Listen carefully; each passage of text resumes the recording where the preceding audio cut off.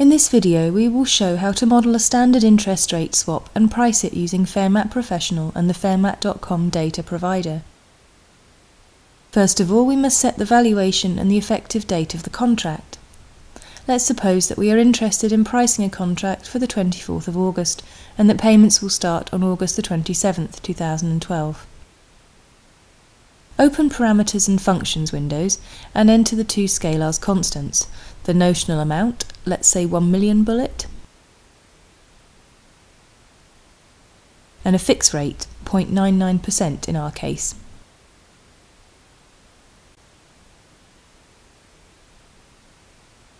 We need a vector of reference dates in order to define the payment dates. We call this PDU, Payment Date Unadjusted.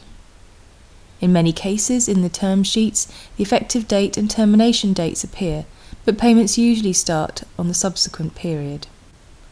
We can easily generate the vector reference dates for our five-year contract with six monthly frequency by setting the effective and termination dates and by excluding the first date. In order to obtain the payment dates, we must adjust the vector PDU by specifying the market convention.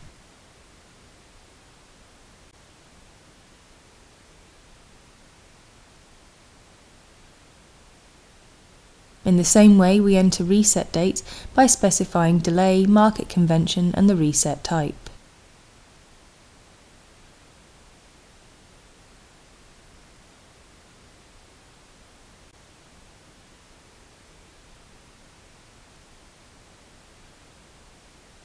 Finally, the dates vector difference calculates the length of every payment period using the specified convention.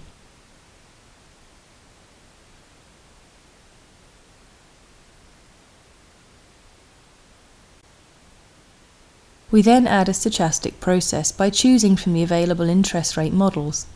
In this case, the and White model fitted our needs. With Fairmat Professional, we can obtain zero rate and model parameters with the Fairmat.com market data provider. To do that, we must specify the reference market for the underlying and the calibration method we prefer, and we must calibrate the underlying process.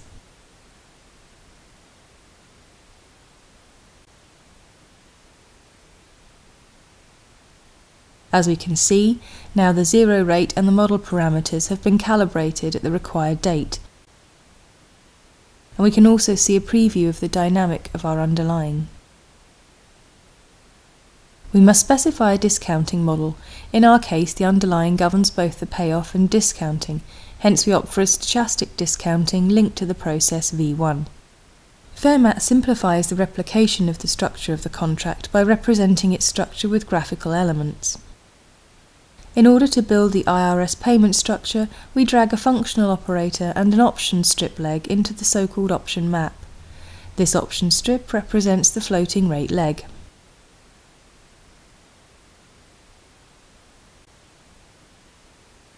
We define how payments and exercises have to be indexed with respect to the vector of payment dates. The payoff is the six-month Euribor that we define using the function rate, which calculates the rate for a given reset date and maturity.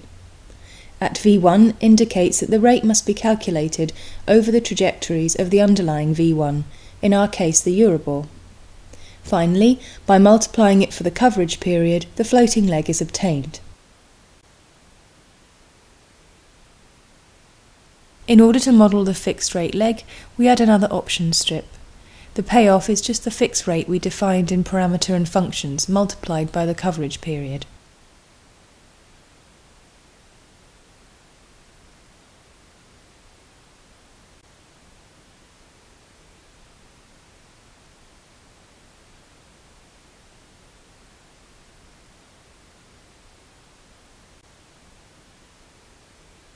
In the functional operator, x1 and x2 represent respectively the floating and fixed leg. The functional operator gives us the flexibility of defining the contract from the perspective we want. By writing x1 minus x2 and multiplying it for the notional previously defined, we have the fixed payer point of view.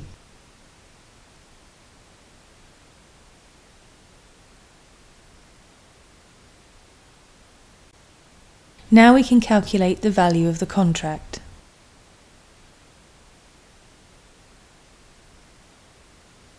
As we can see, the probability distribution of the mark to market and additional descriptive statistics are easily calculated. The effort taken to model the easy contract is the same as we would need to replicate a very complex contract like the one we opened. We took advantage of the option map to replicate the complex payment structure and using the algebraic language simplified the task of defining the complex payoff. If you need to model a typical standardized contract, you can save even more time by using the Fairmat template section. You can browse a template that fits your needs, a vanilla IRS in our case, and edit the template fields. After that, you have the option of modifying the contract in the usual way.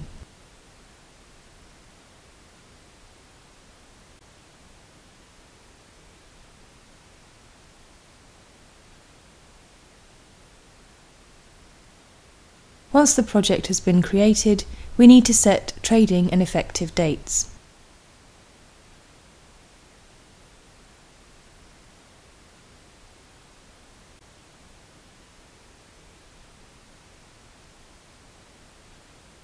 and to generate the date sequence.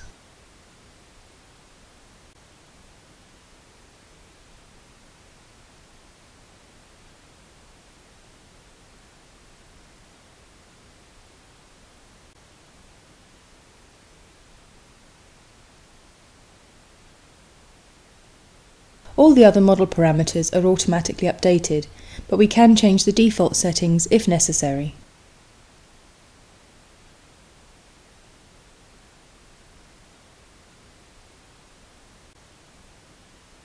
As before, we must set up the reference market and calibrate the model parameters against the market data provided by the Fairmat.com market data provider.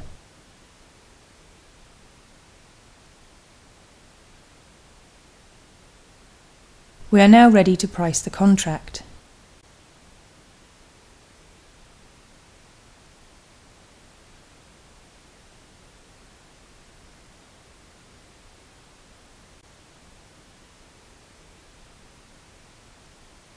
You can also save the project in a file. Future updates of the valuation will require only changing the valuation date.